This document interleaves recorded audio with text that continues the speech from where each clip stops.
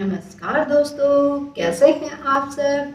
आज मैं आपको आंवले का प्रयोग किन किन बीमारियों को दूर करने के लिए किया जाता है, उसके बारे में जानकारी दूँगी। तो मैं डॉक्टर श्वेता आपका लिव हेल्दी चैनल में स्वागत करती हूँ। तो चलिए शुरू करते हैं।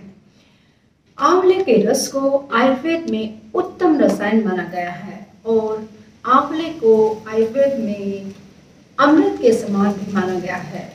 अगर आप 20 से लेकर 40 एम तक आंवले के रस को समान मात्रा में पानी मिलाकर खाली पेट लेते हैं तो उससे आपका रेस्पिरेटरी सिस्टम यानी कि आपका जो श्वसन तंत्र है, वह और आपका डाइजेस्टिव सिस्टम पाचन तंत्र और आपका रिप्रोडक्टिव सिस्टम यानी कि पाचन तंत्र, उनमें संतुलन बना रहता है और व्यक्ति लंबे समय तक बिना रोग के जीवन जीता है।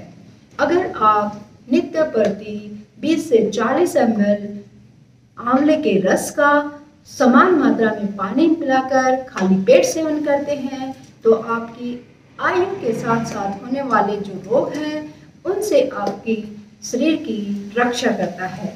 आंवले का रस आपकी आयु को भी बढ़ाता है और मनुष्य के शरीर में जितने भी रोग होने वाले होते हैं, उनसे वह मुक्ति दिलाता है। आंवला शीत वीर्य होने के कारण पित्त से होने वाले रोग, जैसे कि जलन, पेशाब में जलन आपके कलेजे में जलन, पेट में दर्द, इन सब रोगों को दूर करता है और आयुर्वेद के अनुसार पाप पित्त का इन तीनों दोषों को सम करके रोगों को दूर करता है।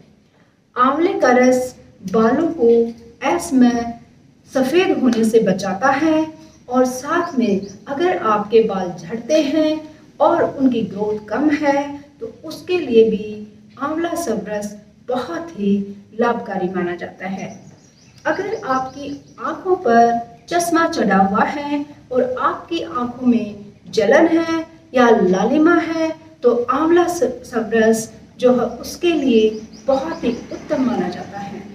अगर आप आंवले के रस के साथ समान मात्रा में एलोवेरा का रस मिलाकर सेवन करते हैं तो आपको गैस, कब्ज और एसिडिटी जैसे रोगों से राहत मिलेगी। अगर आप आंवले के रस का सेवन लंबे समय तक करते हैं तो आपके चेहरे पर कांति भी आती है, यानी कि चमक भी आएगी और व्यक्ति लंबे समय तक बिना रोग के जीवन जी सकता है। आंवले का रस जो है, एलोवेरा और आंवले को मिलाकर सेवन करने से धातुजन्य रोग, स्त्री रोगों को श्वेत पर्दर रक्त पर्दर आदि रोगों से राहत मिलेगी। अगर आपको हमारी यह वीडियो अच्छी लगी हो तो वीडियो को लाइक कीजिए, चैनल को सब्सक्राइब कीजिए और शेयर कीजिए और बेल आइकन को दबाना मत भूलिए। ताकि आपको हमारी अगली वीडियो का नोटिफिकेशन मिल सके। जय हिंद जय भारत।